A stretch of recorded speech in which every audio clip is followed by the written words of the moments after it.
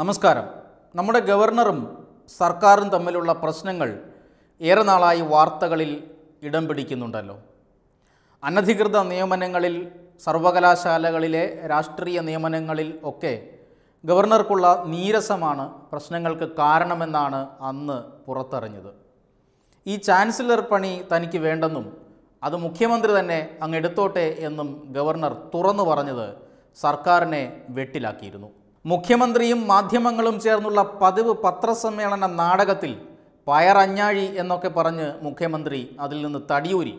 പക്ഷേ ഇന്നലെ കൂടുതൽ ഗൗരവമുള്ള ആരോപണങ്ങളുമായി ഗവർണർ രംഗത്ത് വന്നത് സ്ഥിതി കൂടുതൽ വഷളാക്കിയിരിക്കുകയാണ്. രാജ്യത്തിന്റെ അഭിമാനത്തിന് ക്ഷതം വരുത്തുന്ന തീരുമാനങ്ങൾ സർക്കാരിന്റെ ഭാഗത്തു നിന്നുണ്ടായി എന്ന ഗൗരവമായ ആരോപണം ഗവർണർ ഉന്നയിച്ചിരിക്കുന്നു. സംഭവം എന്താണെന്ന് ആദ്യം ആർക്കും പിടികിട്ടിയില്ലെങ്കിലും ഇപ്പോൾ ഇത് സംബന്ധിച്ച സൂചനകൾ മാധ്യമങ്ങൾ പുറത്തുവിടുന്നുണ്ട്. രാഷ്ട്രപതി രാംനാഥ് കോവിന്ദിന് ഡീലിറ്റ് നൽകണമെന്ന് ഗവർണർ കേരള സർവകലാശാലയോട് നിർദ്ദേശിച്ചതായും സർക്കാർ അതിന് ഉടക്കുവച്ചതായുമാണ് ഇപ്പോൾ വാർത്തകൾ പുറത്തു വരുന്നത് കേരള വി സിയെ വിളിച്ചു വരുത്തിയാണ് ഗവർണർ ഈ നിർദ്ദേശം നൽകിയത്.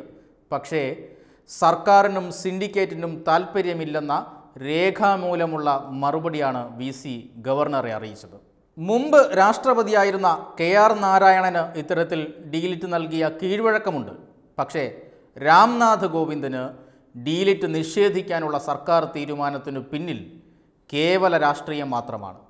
അദ്ദേഹം ഒരു ആർ എസ് എസ്സുകാരനാണ് ഒരു ബി ജെ പിക്കാരനാണ് എന്നതുകൊണ്ട് മാത്രമാണ് ഈ ആദരവ് നിഷേധിക്കപ്പെടുന്നത് എന്നോർക്കണം. ഇന്ത്യൻ രാഷ്ട്രപതിക്ക് ഒരു ഡീലിറ്റ് നൽകി കേരളത്തിന്റെ ആദരം അറിയിക്കണമെന്ന് സർക്കാരിന്റെ അധിപൻ കൂടിയായ ഗവർണർ ഒരു നിർദ്ദേശം വെക്കുമ്പോൾ സാമാന്യ മര്യാദയുള്ളവർ നയിക്കുന്ന സർക്കാർ അത് അംഗീകരിക്കേണ്ടതാണ്. കഴിഞ്ഞ ദിവസം അദ്ദേഹം കേരളം സന്ദർശിച്ചപ്പോൾ അത് നൽകാനും കഴിയുമായിരുന്നു. പക്ഷേ സിൻഡിക്കേറ്റിന്റെ ഒരു യോഗം പോലും ചേരാതെ പാർട്ടി സർവകലാശാലകളിൽ കുടിയിരുത്തിയിരിക്കുന്ന ചില റാൻമൂളികളെ കൊണ്ട് ഗവർണറുടെ തീരുമാനത്തെ ഇങ്ങനെ തരം താണ രീതിയിൽ അട്ടിമറിക്കാൻ പിണറായി വിജയനെ കൊണ്ടേ കഴിയൂ. രാഷ്ട്രീയ പശ്ചാത്തലം എന്തു തന്നെയായാലും ഒരു വ്യക്തി രാഷ്ട്രപതിയായി തിരഞ്ഞെടുക്കപ്പെട്ട് കഴിഞ്ഞാൽ അദ്ദേഹം ഈ രാഷ്ട്രത്തിന്റെ തലവനാണ്.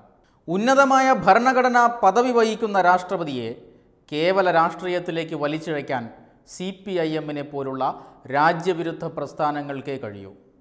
അദ്ദേഹം ആർ എസ് എസ്സുകാരനായിരിക്കാം.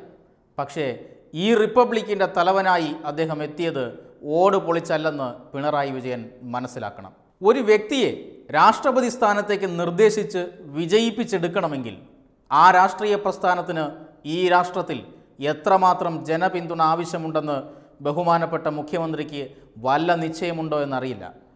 അതിന്റെ നൂറിലൊന്ന് നൂറിലൊന്ന് ജനപിന്തുണ പോലുമില്ലാത്ത ഈർക്കിൽ പ്രസ്ഥാനമാണ് ആർ എസ് എസിനും ബി ജെ പിക്കും രാഷ്ട്രീയ വിലക്ക് കൽപ്പിക്കുന്നത് എന്നോർക്കണം.